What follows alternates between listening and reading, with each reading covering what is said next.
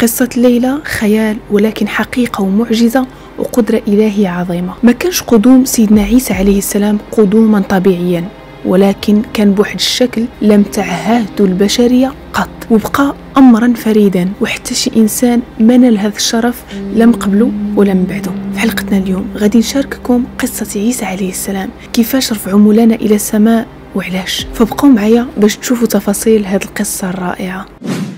سلام سلام ومرحبا بكم على قناتنا اليوتيوب لي كنتمنى انكم تكونوا بخير وعلى خير اموركم هانيه سؤال حلقتنا الماضيه كان هو شكون هو هذا اللي سماه سيدنا محمد عليه الصلاه والسلام بفرعون امته وجوابا عليه هو ابو جهل فتبارك الله على الناس اللي جاوبوني بهذا الجواب والقله القليله اللي قالوا لي ما عرفش انا كنحييكم على صراحتكم وكنتمنى انكم تكونوا سجلتم الجواب في دماغكم وما تبقاوش تنساوه اما سؤال حلقتنا اليوم شنو هي اول سوره نزلت في القران الكريم ما يمكنش ما تعرفوهاش ودابا خليني نرحب اي واحد جا القناه وكنقول لك مرحبا بك وشرفتينا واذا كنتي من اهل الدار فالجمله راك عارفه الدار دارك لنبدا غادي ندخلوا مباشره لما سيدتنا مريم عليه السلام ولدت سيدنا عيسى واللي تقريبا جلنا عارفين بلي انه عبد من عباد الله خلق مولانا من غير اب كما خلق آدم من غير أب ولا أم ودليل على هذا قال الله عز وجل إن مثل عيسى عند الله كمثل آدم خلقه من تراب ثم قال له كن فيكون سيدنا عيسى واللي كانت الام ديالو هي مريم بنت عمران واللي كانت من سلاله نبي الله داوود عليه السلام سيدتنا مريم الصديقه الوليه البتول العذراء الطاهره اللي تربات في بيت الفضيله وعاشت عيشه الطهر والنزاهه والتقوى وقال عليها مولانا تبارك وتعالى في القران الكريم في مواطن عديده ومريم ابنه عمران التي احصنت فرجها فنفخنا فيه من روحنا وصدقت بكلمات ربها وكتبه وكانت من القانتين المهم لما سيدتنا مريم جابت سيدنا عيسى للقوم ديالو ناضوا شي وحدين تيدويو فيها وبكفرهم وقولهم على مريم بهتانا عظيما غادي يقولوا فيها كلام اللي ما كاينش وسبوها وطعنوها في الشرف ديالها لدرجه انهم قالوا فيها كلام ما كيتقالش ولكن مولانا غادي ينطق سيدنا عيسى ولدها باش انه يكون ايه للناس وهو يلا تولد قال اني عبد الله اتاني الكتاب وجعلني نبيا غادي نزل مولانا على سيدنا عيسى الإنجيل وجعلني مباركا أينما كنت وأوصاني بالصلاة والزكاة ما دمت حيا وبرا بوالدتي لي هي الأم ديالو سيدة نساء العالمين اللي اصطفاها مولانا على نساء الدنيا ولم يجعلني جبارا شقيا والسلام علي يوم ولدت ويوم اموت ويوم ابعث حيا كيف تولد سيدنا عيسى غادي تكون عنده بلاصه في الارض غادي تطيح الاصناف مشارق الارض ومغاربها وحتى الشياطين في السماء غادي تترجم وابليس الكبير فيهم بدا كيقلب وكيسول الجنود ديالو شنو وقع في الارض فبدا كينشر في الشياطين ديالو في الارض في كاع البلايص باش يقلبوا على الخبار حتى غادي يوصلوا لفلسطين وغادي يلقاو مولود جديد في بيت لحم جات شياطين بغات تقرب منه وهي تلقى الملائكه كتحرس سيدنا عيسى وسيدتنا مريم ملائكة الرحمن في الأرض كتحرس نبي الله والأم ديالو من شياطين الأرض علاش كانوا كيحرسوهم حيتاش كانوا ناويين وهما مجموعين باش أنهم يأذيوهم ولكن الدعوة نتاع أم مريم حفظتها لما قالت وإني أعيذها بك وذريتها من الشيطان الرجيم مولانا غادي نجاه هي من كل شيطان الايام كدوز والقيل والقال كتزاد او لا كتكثر كلشي بدا تيقول شنو قصه نتاع هاد البيبي اللي الله تولد وقدر يتكلم بكلام الرجال بني اسرائيل بداو كيدويو والخبر غادي وكينتشر عندهم بلي انه طفل يلاه تولد وراه نطقو مولانا وكيف يمكن تنعرفوا بلي انه من عادات بني اسرائيل كل ما كيجيهم شي رسول ما كيعجبهمش يا اما كيتكبروا عليه يا اما كيقتلوه اولا كيكفروا به وحتى هكا كانوا مع سيدنا عيسى سيدنا عيسى عليه السلام كان طفل صغير تيلعب مع الدراري الصغار ولكن غادي تبان فيه ايات اللي هما واضحين وهو تيلعب معاهم كان تيقول لهم الماكله اللي كاينه في ديورهم وحتى داك الدخر اللي حاطين والديهم احتياط في الدار كان مولانا يطلعه شيئا من الغيب غادي ينتشر الكلام ما بين الناس اش هذا الطفل العجيب غادي تامروا اليهود باش انهم يقتلوا سيدتنا مريم هي وولدها فاوحى الله عز وجل لمريم واويناها الى ربوه ذات قرار زعما خرج المكان فيه نهر يجري وفيه الزرع والثمار غتمشي سيدتنا مريم مع ولدها الصغير سيدنا عيسى وغادي يهربوا من فلسطين لمصر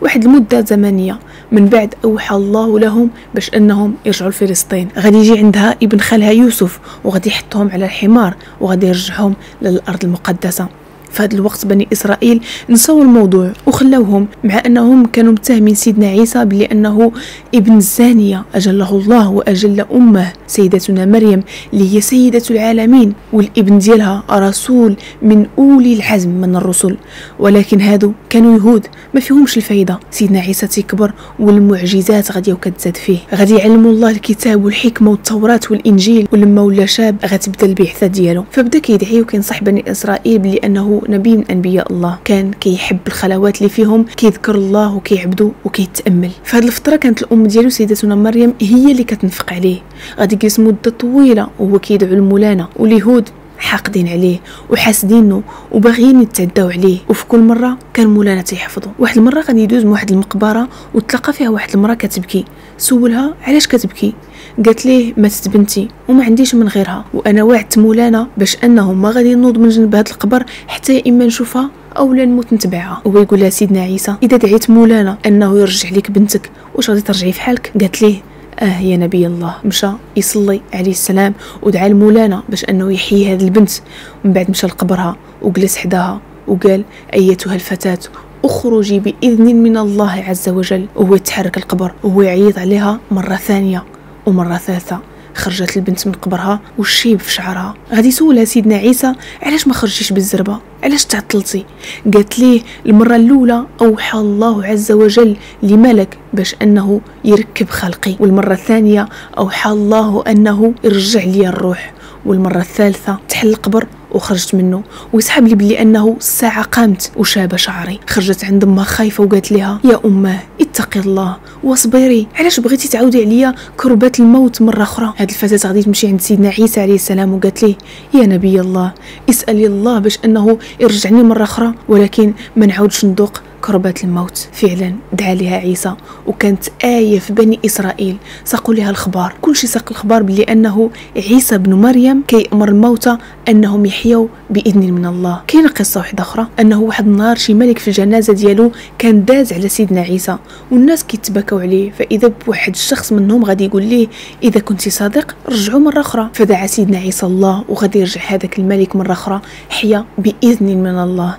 كان سيدنا عيسى كيمسح على راس الاعمى وكيرجع ليه البصر وكيمسح على جلد الابرص وكيشافيه مولانا كان ايضا تيشكل الطين على شكل الطير ومن بعد كينفخ فيه وتيطير بإذن من الله إذ قال الله يا عيسى ابن مريم اذكر نعمتي عليك وعلى والدتك إذ أيدتك بروح القدس تكلم الناس في المهد وكهلا وإذ علمتك الكتاب والحكمة والتوراة والإنجيل وإذ تخلق من الطير كهيئة الطير بإذني فتنفخ فيها فتكون طيرا بإذني وتبرئ الأكمه والأبرص بإذني وإذ تخرج الموت بإذني آيات اللي كانوا واضحين واللي عطاهم مولانا لسيدنا عيسى عليه السلام الحواريين آمنوا بسيدنا عيسى واليهود كفروا عنده حقدوا وحسدوا أفكلما جاءكم رسول بما لا تهوى أنفسكم استكبرتم هذه الآيات كلها وكفرتوا سيدنا عيسى بن مريم ما مسوقش على شكون اللي او اولا شكون اللي تيعارض اولا حتى شكون اللي تيحاربه سيدنا عيسى هو اولي العزم من الرسل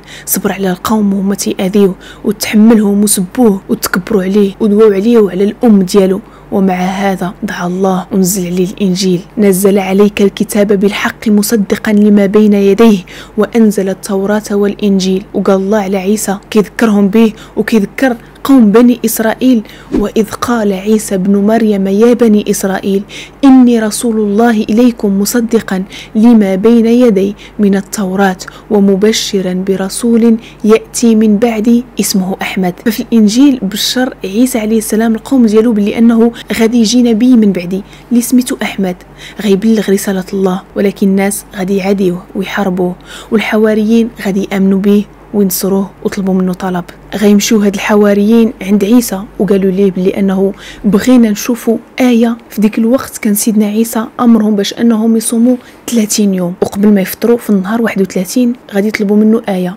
قال لهم شنو بغيتو قالوا ليه بغينا مولانا باش انه ينزل علينا مائده من الاكل من السماء اذ قال الحواريون يا عيسى ابن مريم هل يستطيع ربك ان ينزل علينا مائده من السماء قال اتقوا الله ان كنتم مؤمنين قال لهم سيدنا عيسى عليه السلام شو اللي خلاكم انكم تطلبوا هذه المائدة وفيها أكل وتنزل عليكم من السماء قالوا نريد أن نأكل منها وتطمئن قلوبنا ونعلم أن قد صدقتنا ونكون عليها من الشاهدين زعما بغينا ناكلوا منها ويطمئنوا القلوب ديولنا ونشوفوا آية من آيات الله وهاد القصة سماها مولانا في القرآن الكريم في سورة طويلة بالمائدة اللي نزلها الله على حواري عيسى عليه السلام عيسى بدا كينصح القوم ديالو صحابو كيقول لهم اتقوا الله اش بغيتو تقدر تنزل عليكم هاد المائدة وما تشكروش حقها ويعذبكم مولانا علاش كتطلبوا امر ما تقدروش توفيو حقه في الشكر غيبقاو شادين في كلامهم وقالوا ليه بلي انهم بغاوها بقى سيدنا عيسى عليه السلام ليالي طوال وهو كيدعي فيهم لمولانا قال عيسى بن مريم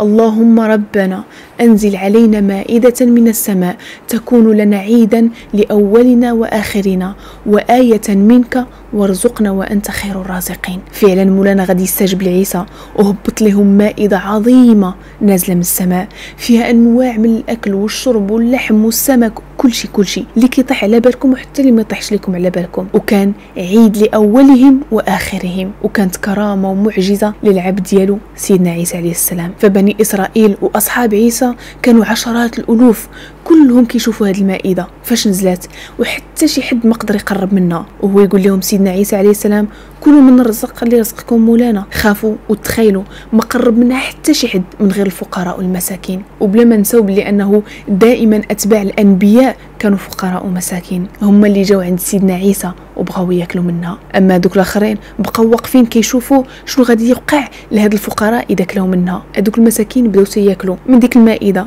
وما غادي يخلي منهم ولا حتى شي حد الا وشافاه الابرص الاكمه ضعيف المريض كل شيء تشافى ربي رفع عليهم البلاء والمرض وحتى هذه كانت آية من آيات الله بقى عيسى غادي في المسيرة ديالو كيبلغ دين الله وكيدعو مولانا والأم ديالو سيدتنا مريم كانت كتخدم بيديها باش أنها تنفق على ولدها هذا الولد اللي اختلفوا الناس فيه من عدو وحاقد وحاسد بقى مستمر عيسى عليه السلام كيدعي مولانا والمعجزات غادي وكتجري على يديه ولكن اليهود تيبقاو يهود فلما شافوا سيدنا عيسى الناس كيتجمعوا عليه وكيسمعوا كلامه غادي يتعصبوا من هذا الأمر وغادي يمشيو هاد اليهود اللي عند الملك ديال الرومان هذاك الزمان وغادي يحرضوا على سيدنا عيسى قالوا لي بلي انه هذا الرجل يحظم امره وغادي يسيطر على البلاد ويقدر ياخذ منك الملك ديالك والحكم ديك الساعه غادي امرهم وقال لهم سيروا قلبوا لي عليه باش نقتلو فعلا بداو كيقلبوا عليه وفي هذا الوقت غادي يختفي على الانظار حيت كان عارف بلي انه غادي يقتلوه